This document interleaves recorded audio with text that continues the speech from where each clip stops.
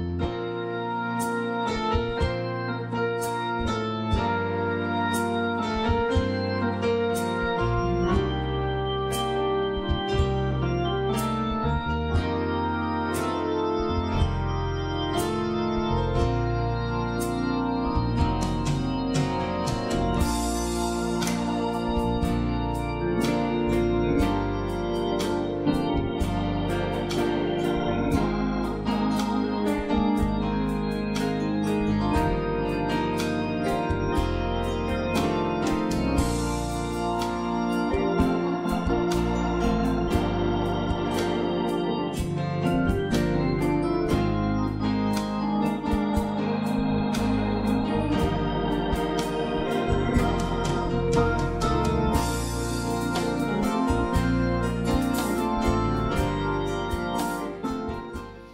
Amen. I want to ask you this evening, if you will, to join me in the book of Philippians, chapter number two, the book of Philippians, chapter number two. And uh, I was a little torn today about, uh, over the last few days, more specifically today, um, about this evening service, the direction for that. And uh, it seemed like everything that I was working on felt good about. The Lord just seemed to shift that a little bit this afternoon. And um, I'm going to kind of go back and at least the theme of what we were talking about on Sunday and um, ask the Lord to just touch our hearts this evening. I talked Sunday about the church united. Amen. I'm thankful to be a part of a united church. The book of Philippians, chapter 2, verse number 1 and 2 the Bible says, If there be therefore any consolation in Christ, if any comfort of love, if any fellowship of the Spirit, if any bowels and, and mercies, fulfill ye my joy, that ye be like minded, having the same love, being of one accord, of one mind. Amen. And I want to I want to just take that last line for my subject this evening of one accord of one mind. Amen. Of one accord, of one mind. In a world that is so pressed, scattered, it seems as though that just life in general almost just seems like a kaleidoscope. Amen. God is calling for the church to be one accord and one mind. It would be so easy to be distracted in the world in which we live. Amen. But God is calling on us, mandating this sense of spiritual focus. Amen. God bless you, and you can be seated.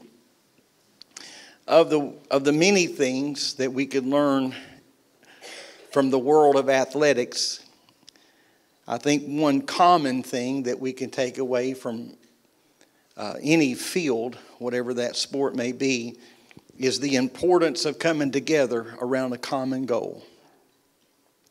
That may seem trite, even almost trivial, but if you want to win, the spirit of unity among a team is essential. It has to be more than a suggestion and a good thought. But everybody has to center themselves around one common goal, one common purpose. I am not an athlete, you know that by now, and um, don't take a lot of interest in any of those things. I'm not against them, but not extremely interested in them. But I've always been amazed and thought it somewhat uh, intriguing how teams can be find themselves sometimes even at halftime uh, or even beyond just so far in the red there's no way to turn it around but somehow there's a rallying spirit that just comes from within I know there can be some luck of the draw, there can be interceptions and things of that nature, but in many cases, what causes something like that to turn, the tide to stem, is that somewhere somebody got reunited around the purpose. I know there are uh, a lot of talk about maybe halftime talks, a lot of focus on those things, and not to take away from any of that. But I doubt you could say any one thing that would change the course of something. Something has in just somebody to hear it with their ears. You've got to hear it in your heart. There has to be somebody that brings back to the, the desk, somebody brings back to the table that one power of unity, that together we can. And so you can have the best athletes, you can have the best coaching staff, but if that team doesn't work together, there's no way for them to win. You can have the greatest athletes, you can have the greatest coaching staff, you can have all of those things, but if there is not a common goal of unity at the heart of what they're doing, because simply put, one person cannot do it all. It is impossible. And so, in any given season, just like life, there could be many things to distract us along the way.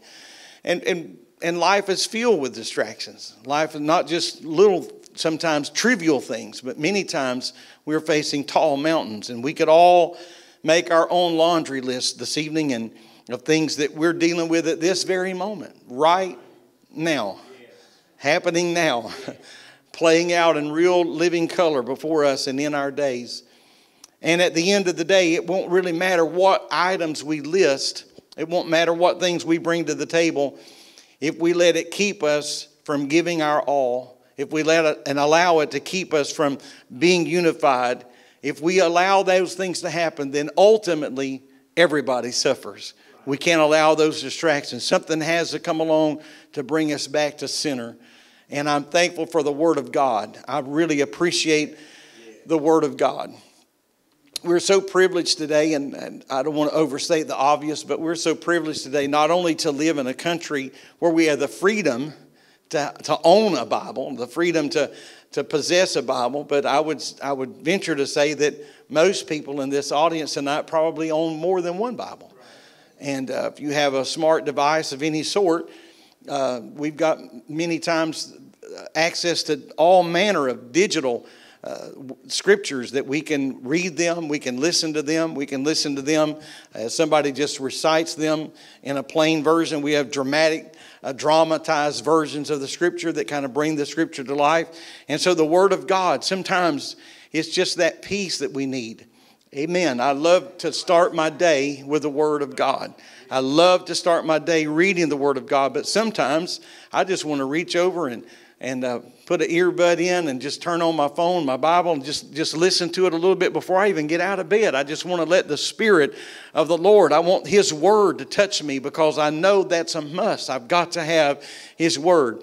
And so our effectiveness is going to be determined by what we have inside, not by just exterior qualities, but what's inside, not our abilities, not our talent, but it's going to be what is in our heart. I believe that God is not really impressed by how smart we are intellectually, and I'm not promoting ignorance, but I don't think God is as impressed with those things as, as we may be. I don't think God may be as impressed with our talents as we are. He's not impressed about how much Bible knowledge we may even have. But what God is after is a heart that is truly devoted to Him. A heart truly devoted to Him. I believe that the Lord is looking to see how much of His character is really being developed in our life. If we're hearing the word only, or if it has actually taken place and taken root in our heart, are we becoming more like Him? Are we right on the inside? There, I think there's some essential questions that we should ask ourselves. I think it's uh, important because the answers are going to reveal what's really going on in our heart. And what's going on inside is our lives is going to really affect what's going on inside of the kingdom of God, the function, the overall health of the work of the local church or as that church ministry begins to spread. Unfortunately, what many people experience in church, that's what we're talking about tonight is church. I guess we could apply this to many other things, but what many experience, what people, many people experience is not a singleness of heart and not a singleness of purpose or not a unity of the spirit because what many people experience is the complete opposite of that and it's because we've got people involved. You know how much smoother life would be if you could just take people out of it? When you throw people in the mix, there's going to be problems. That's just how it, that's just how it works. And so we have conflicting desires. We have our own will, our own wishes.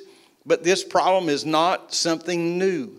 And this is not a, uni- a problem that is unique to here or there or anywhere else because the New Testament church is barely born. It's an infant. And we find Acts 15 real issues serious issues, a real divisive spirit and a divisive attitude. But, but, but just because the problem has been around a long time is not an indication that it's not something we should take serious. We need the Spirit of God to help us be of one accord and of one mind.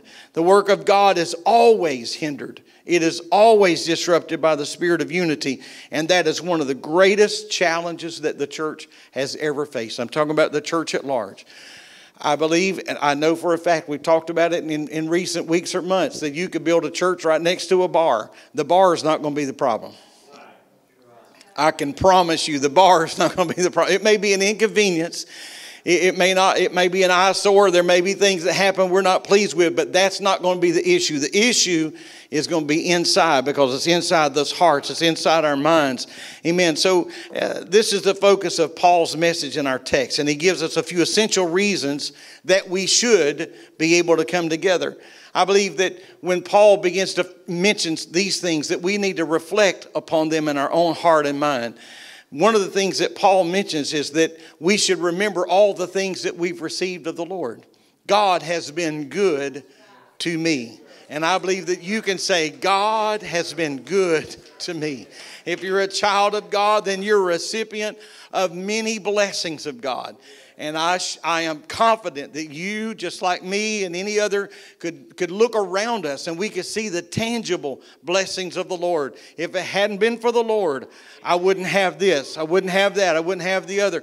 Those are the things we can put our eyes on, we can place our hands on. Those are the things that we could actually put on a list, the things that we, we have received from God. But I believe that in addition, to the things that we could actually write down, or the things that we could list, or the things that we could acknowledge. That there are some things that God has blessed us with that there's no way we could even put our mind around it. We don't have words in our vocabulary that can completely and fully explain it. Listen to what Paul wrote in, in, uh, in Ephesians 1 about the blessings. He said, Who hath blessed us with all spiritual blessings in heavenly places.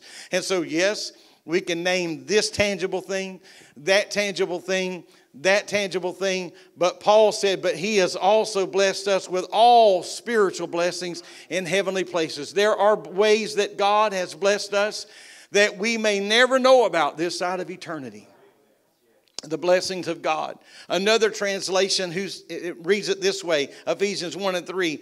It says, Who has blessed us with every spiritual blessing that heaven has to offer. Whatever heaven has to give, we just have access to that. We have full run, full reign, and I'm thankful for that. We're blessed, even though we many times that blessing for granted, even though I take that. I'll leave you alone. Even though I take those blessings for granted, we're blessed beyond measure. We're blessed beyond anything we could dare dream. Paul reminds us that, that what we have in the Lord in Philippians 2 and, and 1, he said, If therefore there be any consolation in Christ, if any comfort of love, if any fellowship of the Spirit, if any bowels of mercy. One writer said that you could correctly uh, interpret the word if for since and it could be translated since in order to convey the true meaning. Paul was reminding them of all the things that they had received because of their relationship with the Lord. Because of Him, we've received the spirit of encouragement. We have received the spirit of comfort. We have received fellowship. We have received tenderness. We have received compassion. These are all things that we receive because we are in relationship with God. Amen. We, they have received it. Paul was saying, but we can say that ourselves, that we've received all of those things. Amen. The benefits that come from knowing and serving the Lord. I, I know many times when we're standing at the face of some something tragic, or we see somebody standing at the face of something tragic, or we read about things in the news or hear them in the news, and we have often said, I don't know what people do that don't know the Lord. I don't know how people navigate through life. That's not a pious Christian comment. That's not, that's not, that's not us up here trying to look down on the rest of the world. I've never been more sincere in my life at times when I've said, I don't know what people do. I wouldn't know what to do if I didn't have the privilege to pray myself. But I also wouldn't know what to do if I didn't know I had the privilege that when I don't even know what to say, or what to do that I can call on somebody. They don't need every intricate detail. They don't need uh, they don't need all the bullet points. I could just say I need you to pray for me. I just need you to pray for me. I, I know it can almost seem ritualistic if we're not careful, our times of prayer requests in church. Uh, we just did it a moment ago. Names that we call, names that are on the screen, lifting our hands if there's an unspoken request. Sometimes there are things that we don't want to talk about. It's private, it's personal, but the Lord knows what we mean when we lift that hand. And I'm so thankful that I, when I lifted my hand, what I was doing was casting that care on Him because I know He cares for me. I'm thankful for the spiritual blessings of God. How can you put a price on that? How could you put a price on that? The benefits that come from knowing and serving the Lord. I think being a part of the kingdom of God and the family of God is such an encouraging thing, and, and it's such a comfort within the context of the kingdom. Yes, we do have His Word, and I'm thankful for that. And we do have His Spirit, and I'm thankful for that. I'm thankful that, that there are times we have His Word and Spirit combined together. I mean, we feel that. We read His Word and we feel the Spirit of that Word. There's a confirmation, there's a consolation. But I'm glad that in addition to having the presence of God and in addition to having the Word of God, I'm thankful that I have you. Amen. Because, and I say this with great deference to the Lord, and I say this with great deference to the Spirit and His Word. But there have been times that I needed more than a scripture. And there have been times that I needed more than a warm feeling. I needed you. I needed your arm around my shoulder. I needed your hand in mine. I needed your eyes looking in the white of my eyes. I needed to hear your voice. I needed, as the child said, some, something with skin on. We needed the Lord to touch us and strengthen us, and He used you. So, yes, Lord, thank you for your word. Amen. We've got it in many facets. We've got it in many, many venues. We've got it on the written page. We've got it digitally. We've got it everywhere, the Word of God. But I'm so thankful for the church, the men and women that make up the body of Christ. They're there. I'm thankful for your voice that we're not singing alone, that we're not worshiping alone, that we're not praying alone. I'm thankful for the Word of God and I'm thankful for the Spirit of God, but I'm thankful for the body of Christ, the church. There have been times in the past and times right now, and there will certainly be times in the future that we need one another in flesh. Knowing that you're loved, knowing that you're appreciated, gives us a sense of comfort, a sense of security. It's a sense of community, a sense of belonging. God has shown us tenderness and compassion when we needed it the most, and we've all experienced His his blessings, and we've all experienced His mercy when we deserved His judgment. Amen. We've been blessed beyond what we deserve. And that's why the church of God should always be the most thankful people walking on the earth. God's blessings, I think, should replace every negative thought, every negative attitude with a positive one. So, the first thing we need to do is remember all the many blessings of God. How could we complain when we look around? God's been so good to me. The songwriter said, I can't complain. Amen. His grace has been there, His mercy has been there. He's blessed us beyond our wildest imagination. In verse number two, he said, Fulfill you my joy that you might be like minded, having the same love, being of one accord and of one mind. That togetherness. Amen. There is a strong call for unity. Just look at the words that he uses. We're, we're called to have the same love, to be in the same spirit of one mind. It reminds me of other times and other places that Paul made this same plea in essence, but even to another church, another body. 1 Corinthians 1 and 10, for example, he said, Now I beseech you, brethren, by the, by the name of the Lord Jesus Christ, that ye all speak the same thing, and that there be no divisions among you, but that you be perfectly joined together in the same mind and in the same judgment. Do you find that word same, same, same over and over, pressing us into the mold, not to, de- not to destroy? The idiosyncrasies that make us who we are, make us individualistic. No, but God is saying that we need to let His will uh, be accomplished in our lives. I think it is possible that we all speak the th- same thing. It is possible that we can all be united in our opinions. I know that sounds real un American. That we could all think the same thing and that we could all have shared opinions because we are schooled daily to do our own thing and to have our own way and to step on whoever and whatever you need to to get wherever you need to get. That's how we are conditioned. And, and I, I'm afraid that that plays on our psychic more than we would ever even imagine. Amen. But I believe that we can walk together because God has called the church to do that. I believe that our opinion should not just be conformed to somebody else's for the sake of conforming, but it ought to be conformed to the opinion of the Lord. We ought to seek His will and His opinion. What would you have me do? Not my will, but thy will be done. That is one of the greatest needs, one of the greatest needs of the church. Amen. And what a challenge. It's a great need, but it's a great challenge. That means we got to work on it constantly. I don't believe this kind of unity just simply happens because we got moved by a song. I don't think that kind of unity happens because we got moved by a sermon. I believe this kind of unity must be purposefully undertaken and that we got to work on this always the rest of our lives. That kind of unity has got to be a decision of the will, and then we must resist the, the, the, uh, the temptation to have selfish thoughts, selfish attitudes, selfish actions. Amen. Verse number three, Philippians 2. Let nothing, just the first portion of the scripture says, let nothing be done through strife or vainglory. Don't do anything just to bring attention to yourself. Don't do anything to bring division among the body. Amen. There is an enemy of unity among people, and that enemy lies within each one of us not just a fellow across the aisle. It lie, the seed of that lies in the heart of every man, woman, and boy and girl walk on the face of the earth. In other words, we ourselves can be the worst enemy of what God is doing to try to bring people together into a spirit of oneness.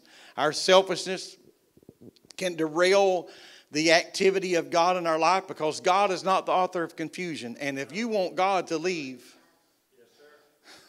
He will walk out because he's not the author of confusion. He's not going to have anything to do with that. James seems to call it out for what it is because James asks a question in chapter 4, verse 1. James asks a question and then answers the question. He says, From whence come wars and fightings among you? So he poses this question. And then he says, Come they not hence, even of your lust that war in your members? So where does all this come from? You. Amen. Selfishness is at the root of every sin. When we think about sin, at the core of every sin is the spirit of selfishness. God's love is the very opposite of that. It is selfless, it is others centered. What can we do for others? And so, if we would be like Him, then I've got to resist the temptation to be selfish and the temptation to have it my way. For many years, I have served in various capacities that called on me to help other people deal with conflict in their life.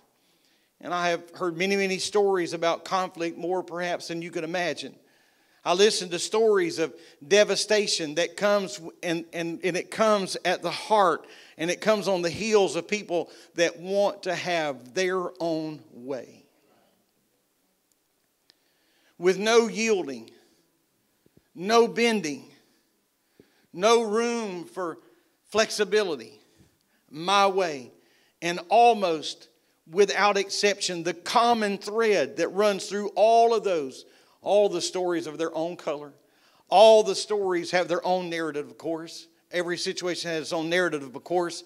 But the common thread that runs through them all is selfishness and pride. Me, mine, my way. Nobody will yield, nobody will bend. Amen? That is at the core of most conflict. The core of most conflict. They're, they're, these are two of the deadliest forces at work in our world, and it can be two of the most deadly forces at work in the church. While some would agree with me, tragically, there are some people that would never admit that these forces are at work in them. They know these forces are at work in the world, and they would even admit these forces are at work in the church. But as long as we can just use terms like the world and the church, that sounds like a foreign entity. But when we realize that we are the church, there's few people that say those forces are at work in me. At any one moment, we can become selfish. At any one moment, we can allow pride to rule and reign in our lives. Amen. They may be at work in the other fella, but I tell you, they also may be at work in my own heart. And that's what I've got to say. I've got to say to myself, be careful. Be careful because that propensity to, to be that way is in me. And so I've got to make sure that my flesh is crucified, that it's, it's submitted to the will of God. And so when I find myself, not if, I said when I find myself disgruntled, and when I find myself complaining, and when I find myself cynical, that should need that needs to be a red flag in my life. Wait. Wait. Doesn't mean life is perfect, doesn't mean everything is smooth, but selfishness never brings people together. It always drives people apart. So we need to think about what we've received we need to understand the power of working together in harmony. And we have to resist the attitudes of selfishness in our own spirit. And then I need to understand that God is calling on me to place a greater importance on the other person than I would ever dare place on myself. The latter portion of verse 3, the first part says, Let nothing be done through strife or vainglory.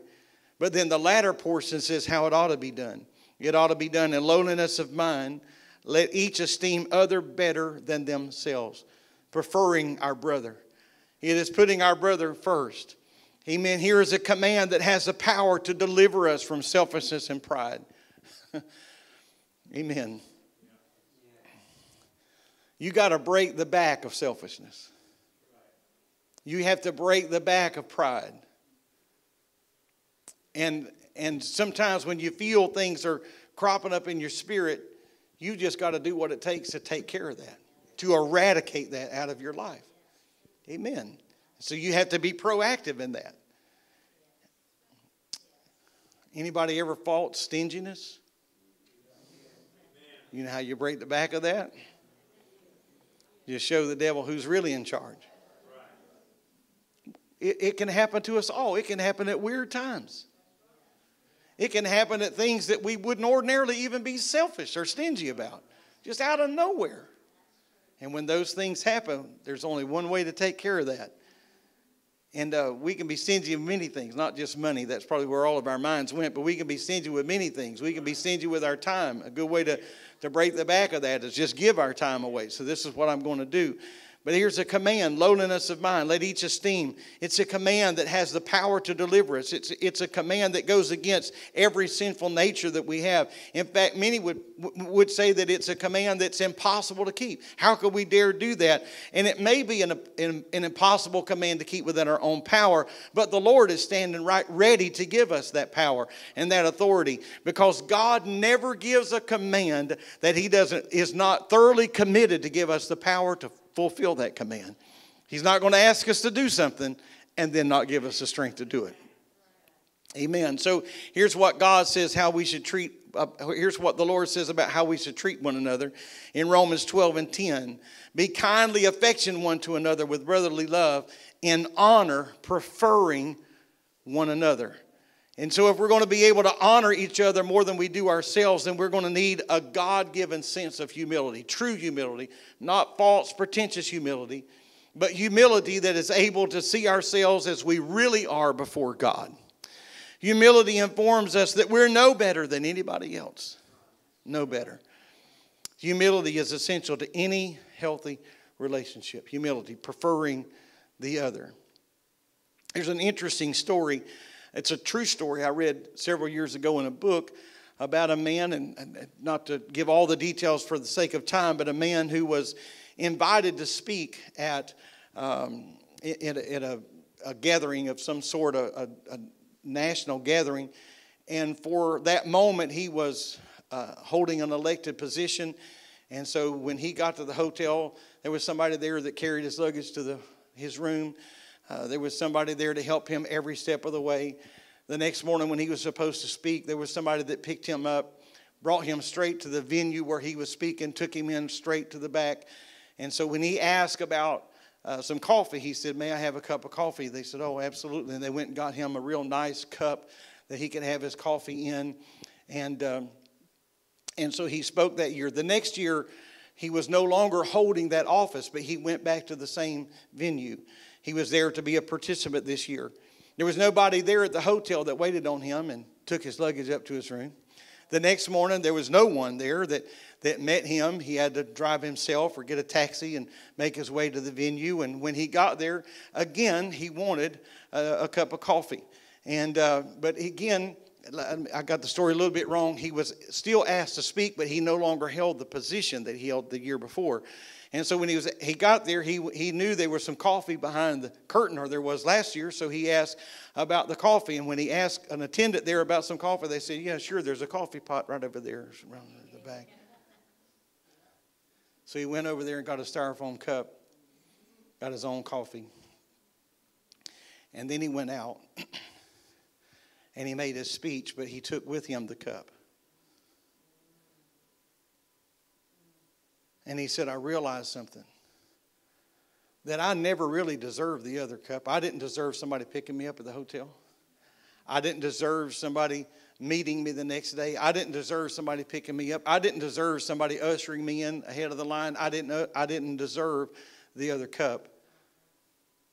He said, Really, all I deserved all along was this cup but it was because of the title that I held for a season that I was blessed. A very humbling scenario. And so, humility is the ability to see ourselves as we really are. Because sometimes you can get to believe in the press reports and not see us and see ourselves as God sees us, flaws and all. Amen. Listen to what Simon Peter says 1 Peter 5 and 5. He said, Likewise, ye younger, submit yourselves to the elder. Yea, all ye be subject one to another, and be clothed with humility. For God resisteth the proud and gives grace to the humble. He said, Humble yourselves, therefore, under the mighty hand of God, that he may exalt you in due time. If you'll humble yourselves, God will exalt you. Because the pride, the path of pride leads to a downfall, but the path of humility puts us in a position where God can truly do something with us. And so, as we humble ourselves and bow ourselves in the presence of God and acknowledge Him as the Lord of our lives, surrendering ourselves to His will on a daily basis, amen, keeping our hearts right with Him, amen, that's what we have to do. That's what we have to do. I want to just make one closing comment here, and musicians, can you can just stay if you would like. But Philippians 2 and 4. The Bible says, Look not every man on his own things, but every man also on the things of others. To refocus on the needs of others, not about what we need. And in order for a, a church to really be healthy, you can't just have church aimed at the church every service. We've got to be others centered. Who here may need something from the Lord? And so I believe that the mark of the, the, the, mark of a true Christian is that we have a genuine love for others and the welfare of others. And we will want to do everything we can do to encourage somebody else. Encourage them to trust the Lord, encourage them to follow them with everything they have. And we got to be concerned about those that are around us and doing what we can to strengthen somebody else around us. Someone may be thinking, well, if I look out for the needs of everybody else, then who's going to look out for me? And the answer to that is pretty straightforward, and that's God. And that's who you want watching after you.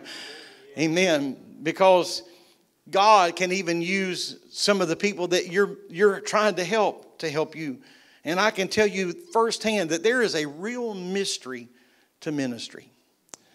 I'm not talking about pulpit necessarily just pulpit ministry. But when you stop along the way to encourage or to strengthen someone else, you'll be amazed that in turn, they will minister to you. It's the mystery of ministry. I've stood in many different places trying to be a strength to someone else who may have been walking a lonely path. Visited people in nursing homes, visited people in assisted living facilities, visited people in jail, visited people in prison, visited people in hospitals, visited people that were shut in in their own homes. And you go there, I'm not alone. I see heads already shaking. You went there to help them. You went there to encourage them. And I will tell you that many times some of the people that were the lowest are the ones that pick me up the highest. It is amazing. It's almost embarrassing. It's almost as though you wonder what in the world just happened. I came here to encourage you, I came to strengthen you. And somehow, through the mystery of ministry, we were ministered to. I mentioned this when I opened this morning, this evening, but I felt led to preach along the same lines of my message Sunday. Sunday, I referred a lot to Acts 4, primarily preached from verses 32 to 35. And so this evening, I'm going to ask you to stand and I'm going to conclude my message with reading from verses 31 and then just a little bit of verse number 32. Acts 4 and 31 says, And when they had prayed, the place was shaken where they were assembled together, and they were filled with the Holy Ghost, and begin and they spake rather the word of God with boldness. Amen. And the multitude of them that believed were of one heart and of one soul. So that's what happened when the church came together. Amen. When they came together, they prayed, and the place was shaken where they assembled. This is not Acts 2, this is Acts 4. this is not just one and done Acts 2 outpouring, day of Pentecost, upper room experience. This is Acts 4 praying together, assembled together, filled with the Holy Ghost, speaking the word with boldness, and the multitude of them that believe were of one heart and of one soul. There's something powerful about a people united. I know I mentioned it Sunday, but so built we the wall, for the people had a mind to work. Amen. We have to center our hands, we have to center our hearts, we have to center our will around the will of God. That means I can't have my way every time. That means everything doesn't go in my favor every time. Lord, what would you have me to do? Amen. One mind, one accord. Can we lift our hands and just pray and ask the word of the Lord to touch us this evening? God, I appreciate you tonight. Dear God, I love you this evening. I thank you, Lord, for the hope that your word brings to us. Your hope, your hope, God, that hope that abides in our spirit, that hope, Lord, that resides within your word but your word is not just a book, it's not just parchment, it's not just ink. But God, your word is a living seed. And I'm asking you, Lord, to let the authority and the power of your word reside in us. Let it come alive in our heart and in our minds. We love you and we honor you and we bless you tonight. I pray, God, that we would be that unit, that we would be that one, that there would be a oneness, a singleness of mind, a singleness of heart, a singleness of spirit. Oh, that's what we need. That's what we need in the name of Jesus. In the name.